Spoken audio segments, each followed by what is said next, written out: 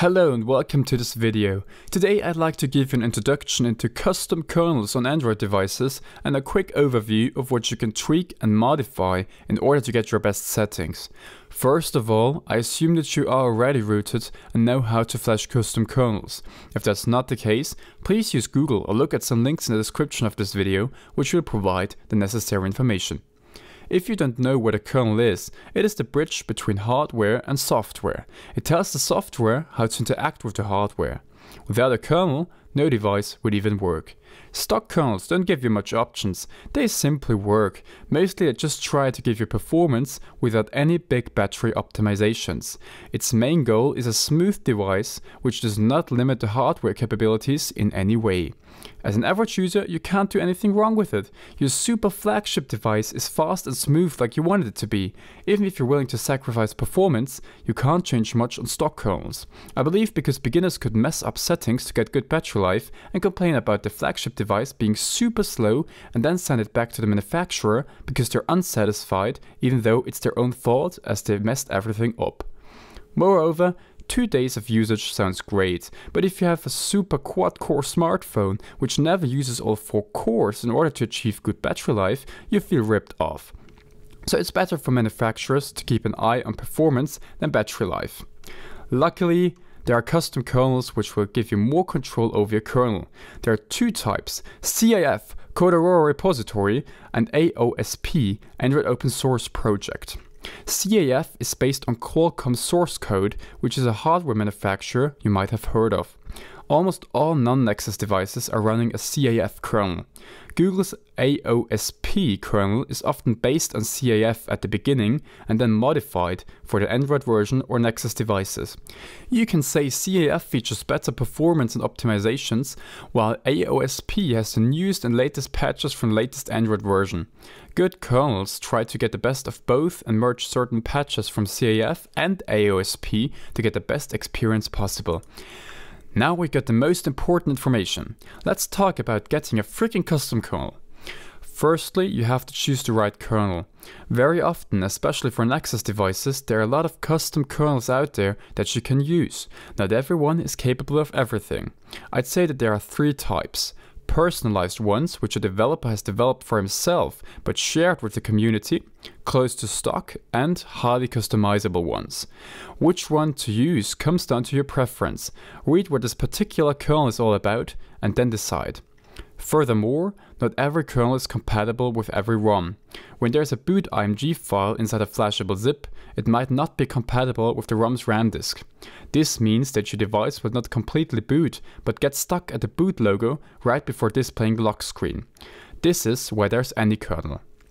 AnyKernel takes the original kernel's RAM disk and needed files, extracts or modifies it, and then merges it with the custom kernel. So all needed files for the custom kernel to work are taken from the original stock kernel of the ROM, which should work all the time. This makes a kernel compatible with almost every Android version and ROM. That's the reason why custom kernels should only be flashed after dirty flashing a system to prevent bugs by using files from custom kernel A and custom kernel B. Mostly a kernel will try to balance performance and battery life. It is impossible to increase battery life without decreasing performance, otherwise it would be implemented right away. There are a few which will sacrifice performance for battery life and vice versa. Again, normally a kernel is balanced and can be tweaked to focus on battery life or performance by the user. Performance should be limited to a certain level which will not make you notice any lags, performance issues or FPS drops to get the best battery life without feeling like having a $50 phone in your hand. Let's move on to the CPU clock. There's the minimum and maximum CPU clock. By increasing the minimum clock, your device will always be very fast, but will also drain more battery while the CPU isn't used at all. Even when idling, it will act like it's under heavy load, so keeping this at stock is recommended. If possible, even use the lowest possible clock speed, as a lower clock will also run at a low voltage, which gives you huge battery savings, as the lowest clock speed might be on number 1 of all used clocks, besides the boost clock, which I'll exp explain later, and the max clock speed. By increasing the maximum CPU clock, which cannot be done on every kernel, the CPU won't stay as long on the max frequency as before, but will also drain more battery in a short period of time. As mobile devices are very difficult to cool, I'd recommend not overclocking the CPU and to stay at stock clocks. Especially if you're not very into this topic, you might overheat or damage your device permanently as opposed to underclocking, which doesn't pose a threat to the hardware. On PCs, it's a different story, as fans and water coolers can easily handle the CPU's temperature when overclocked. To summarize, set the minimum frequency as low as possible and keep the maximum frequency at stock. Now to the governor. The governor decides when a CPU core should be clocked at a higher frequency. When doing nothing, it should be at the lowest frequency, but if you're using your device, it needs a higher clock to process data. In theory, the clock should only be as high as needed and not higher, which results in a higher battery drain, or lower, which results in a slower performance. The most important ones are interactive, which is used very often as it's a very balanced governor, which clocks very high in a short time, but also goes back fast. Then there's conservative, which will not clock very high unless there's a high CPU load for a longer period of time. And power save or performance, which will either stay at the minimum clock or stay at the maximum clock almost all the time. Very often interactive or conservative is the best option, but be aware that each kernel can tweak its governors, so interactive on kernel A doesn't have to be the same as on kernel B. Moreover, some kernels feature their own governors with special names like interactive X or something like that. Now to CPU voltage. In order to save a few percentages of your precious battery and to decrease heat output, you can underclock your CPU. How low you can go depends on the device and the CPU binning. To sum up binning, you have to imagine that not every CPU is the same. Some are of higher quality and some of lower. In desktop CPUs, some might be low end and the others might be professional ones, even when they share no differences in production. However, in mobile devices you'll never know what you get. Higher CPU binning values will allow you to undervolt more without becoming unstable. When undervolting your CPU, the worst thing that can happen is a reboot, which will happen as the CPU crashes as it doesn't get enough power. The worst thing that should happen is that you lose some of your recent data, like data not stored in your flash storage but still in RAM, for example a note that you did not save yet, but it will not harm your hardware. Doing the opposite, called overvolting, might decrease the lifespan of your CPU and make it get a lot hotter than it's intended to be. Overvolting is often required for overclocking to give the CPU enough power. However, overvolting should be avoided if you're not familiar with this. To find your CPU binning, type dmesg space vertical line space grep space pvs in a terminal. I'll post the command in the description. The higher the number is, the lower voltages your CPU can run at. Normally, people undervolt from 25 mV up to 100 mV. You should try lowering the voltage by 5 mV and use a CPU benchmark app or use your device for a couple of hours. If it reboots, try increasing the value. If not, decrease it until you hit that critical value and use a voltage which is 5 mV higher than a not working one. You could do this for every frequency, but I would just change the global voltage so that every clock speed is undervolted with the same value. This makes things a lot easier, trust me. Please note, never ever set voltage settings to apply on boot without using your device at least a few hours. Otherwise, your device might crash and boot up because of the low voltage, and without getting to the kernel app to modify this, you will have to manually delete the, se the settings or reflash everything. Please be aware of that. Now to hot plugging. On a multi-core device, keeping every core online, even when not needed, drains the battery as hell. So hot plugging allows to disable a core when not used, enable it or plug it in when needed. It is somehow like the CPU clocks, but with cores. In theory, it would be perfect if, for example, a second core only comes online when the first core is on the max load and cannot give you more performance.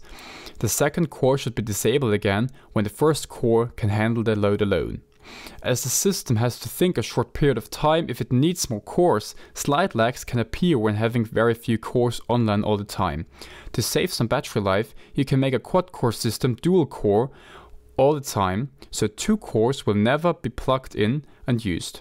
For performance, you can enable all four cores and never unplug any of them. When disabling the hot plugging driver completely on your multi-core device, it will run as a single core, which is often as bad as setting the max clock to the lowest frequency. I'll explain why later. For hot plugging, there are a lot of drivers like MP Decision, IntelliPlug, Zen Decision, and Mako developed by Francisco Franco.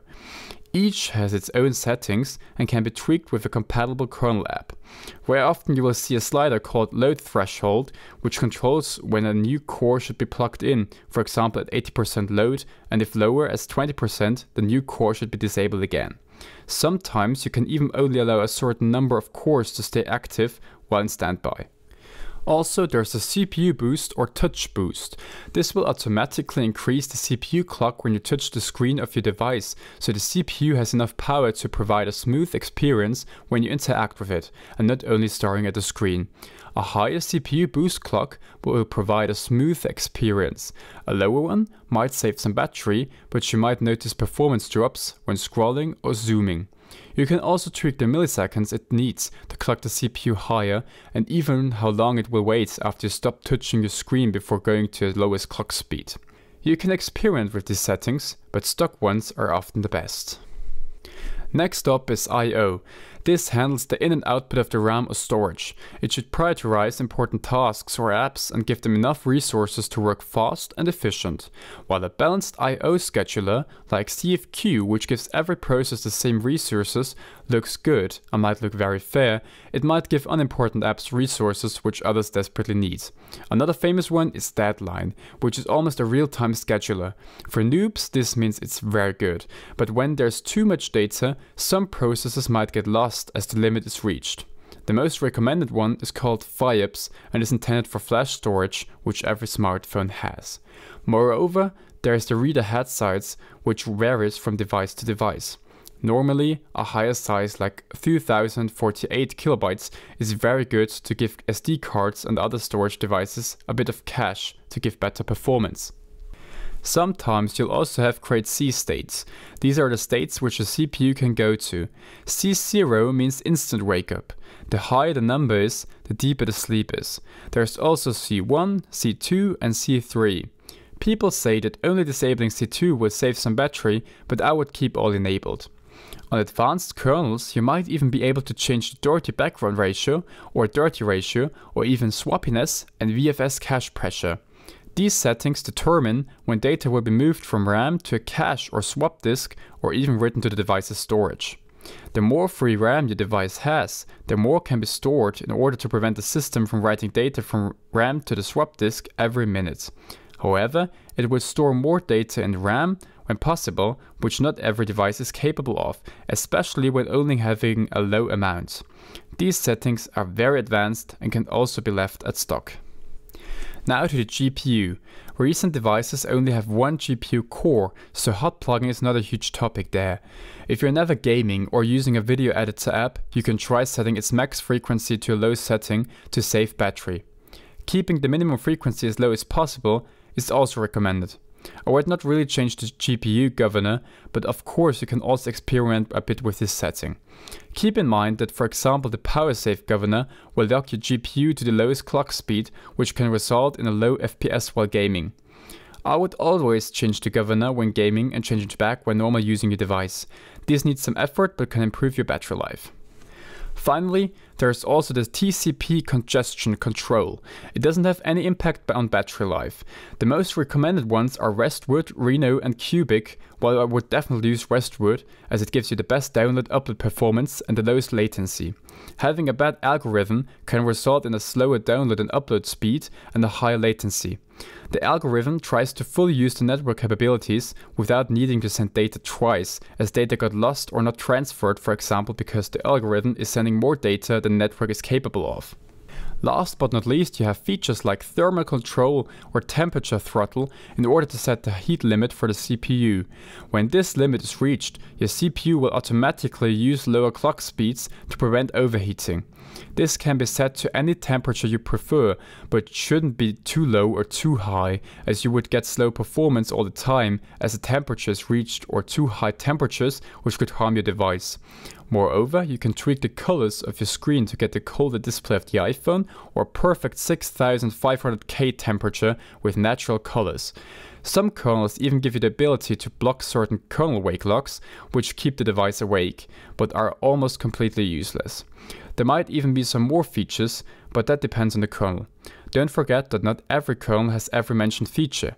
I just tried to explain as much options as I could to give you a quick overview of what you can tweak and what a certain option will change. In the end, I would advise you to keep things balanced. Locking the CPU to the lowest clock might make the CPU drain almost no battery at all, but at the same time it will drain the battery longer as it needs more time. Not even the CPU might take longer, but the screen will also be active for a longer period of time. Think of this, when opening an app, the CPU might consume a lot of power for a second, but then you can use the app, finish the task and put your device into standby. If it's locked to a very low clock, it might take 15 seconds to open the app and even longer to finish the task. Moreover, the longer it takes for a task to finish, the longer the screen will stay active. You might prevented the CPU from draining your battery, but the screen was activated for a longer time, which drained as much or even more battery than it would have when the CPU did its job with more power. Please be aware that you need a good kernel manager app in order to change all of these settings. I can recommend Synapse, Kernel Editor, Franco Kernel app or Full Kernel Manager. Also, Xkernel Manager is a good choice. Each has its own settings and not everyone might be compatible with your kernel.